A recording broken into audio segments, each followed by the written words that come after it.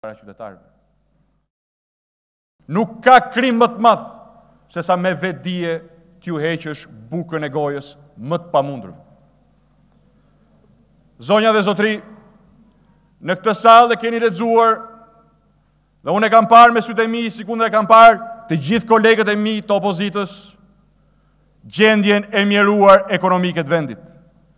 Vini këtu të krekosur nga milionat që keni vjedhur përmes pushtetit tuaj abuziv dhe e mohoni këtë realitet. 5 vite regjimi korruptiv i Edi Ramës me politikat korruptive të taksave të larta, të rritjes çmimit energjisë dhe të naftës, mbylli qindra mijëra biznese.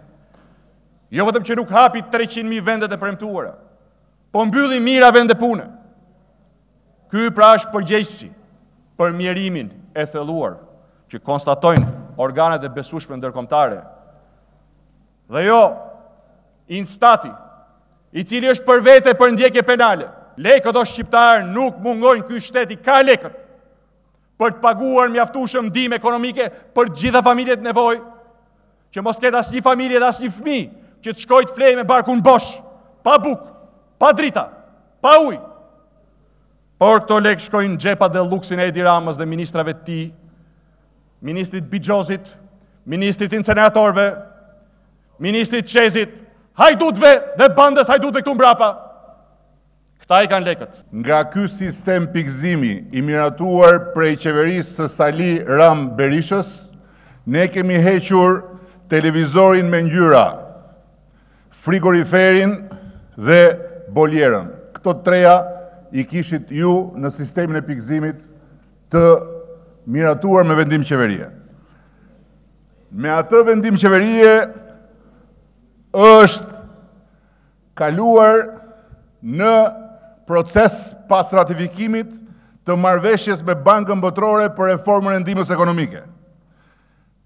Si të gjitha reformat që tentuat, por nuk i bëtë kurrë, kjo është një reformë që filloi në qershor të 2014-s, duke u pilotuar në tre qarqe, Elbasan, Tiranë dhe Durrës, ku nga procesi i pilotimit dhe zbatimi i kësaj skeme rezultuan as më shumë e as më pak po nëntëmbëdhjetë mijë e shtatëqind deklarime të rreme domethënë subjekte abuzive që merrnin ndihmën ekonomike nga ju dhe që nuk meritonin ta kishin. Ne nuk krahasohemi me kohën e Zogut. Ne thjesht jemi këtu përballë zogjve të kohës, që jeni ju. Dhe fluturoni dhe fluturoni si korbat mbi çdo mbi çdo gropë që hapet duke kërkuar llogari prej nesh. Urdhëro, vazhdoni fluturoni, por Ta mësojnë njerëzit se ju jepni 38 milion dollar për ndihmën ekonomike. Ne japim 48 milion dollar. Subvencioni juaj për energjinë, për ujn, për librat, e për kështu me radhë, ishte minimal. Zoti Basha, tërheq vëmendjen, Zoti Basha. Zoti Basha, tërheq vëmendjen, ju lutem uluni Ju poshtë. e kishit nivelin e ndihmës ekonomike Ulu poshtë, zoti Basha. mesatarisht 29000 lekë.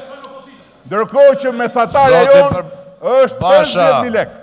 Ju keni arritur t'i jepni ndihmë ekonomike familjeve 6000 lekë dje- vjetra. 6000 lekë vjetra. Dhe e konsideroni ndihmë ekonomike. Ndërkohë që na u mërzitët mbasi vini këtu, nuk lini fjalë të fjalorit të ulët gjuhës shqipe pa përdor, u shqetësuat se ju thashë zogjtë e korbave.